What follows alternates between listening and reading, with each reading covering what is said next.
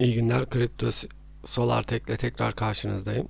Kripto SolarTech hala hazırda e, hard kaba yakın yani %86'sını toplamış 71 milyon euro yakın para toplamış e, ve ekosunun bitmesine 18 gün var ve e, bu normal şirketlerle zaten 15 yıllık bir geri dönüşüm anlaşması var. Güneş enerjisini kullanacaklar ve bu güneş enerjisini satın alacak zaten şirket var arkadaşlar. Yani işi garanti gibi bir şey bu saatten sonra.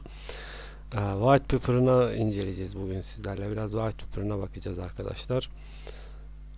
Açılırsa tabi e, gördüğünüz gibi e, Kripto SolarTech'ten bahsedeyim isterseniz biraz sizlere. Bu Kripto SolarTech e, bir gördüğünüz gibi 1.3 kW bir sistem yaratmayı planlıyorlar ve bunu işte toplamda diyor tamamen karbon şey e, karbondioksit olmadan e, projeyi gerçekleştirecekler arkadaşlar.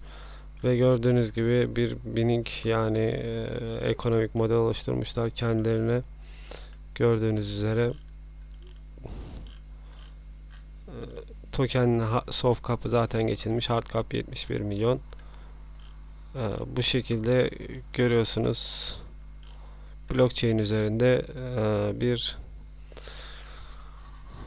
enerji üretim platformu. İşte gördüğünüz üzere güneş enerjisi 11 trilyon dolarlık e, bir ilerleyen zamanlarda 2040'ta e, bir enerji sistemi oluşacakmış yani ekonomisi oluşacakmış. Bundan bahsediyorlar.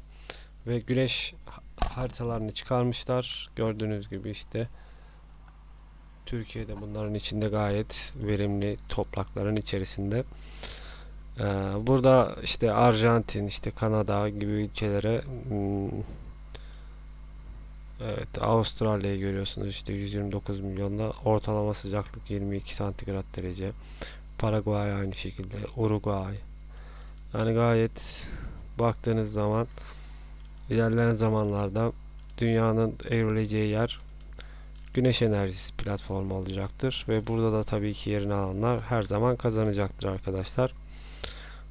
Sonuçta dünyamız ilerleyen zamanda daha da çok ısınacak ve bu tür enerjilerin hem maliyetleri düştükçe hem de parça başına e, düşen e, maliyetler azaldıkça daha çok e, bu sistemlerden yapılacaklardır. Gördüğünüz gibi ROI diyor %11'lerde gayet e, açıklanabilir ve öngörülebilir.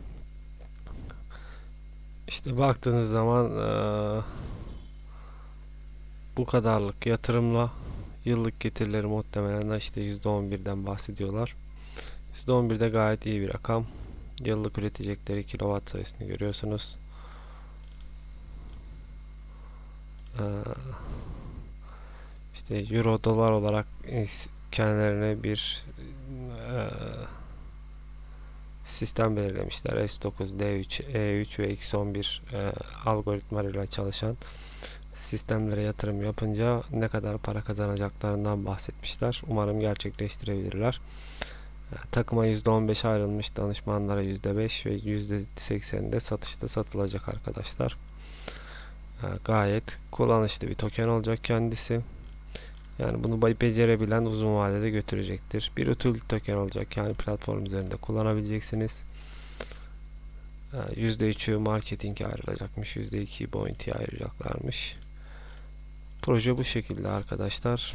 İyi günler diliyorum. Ya da devam edeyim biraz daha isterseniz. Da bu kadar. Yani daha sonra yüklem. İyi günler diliyorum arkadaşlar.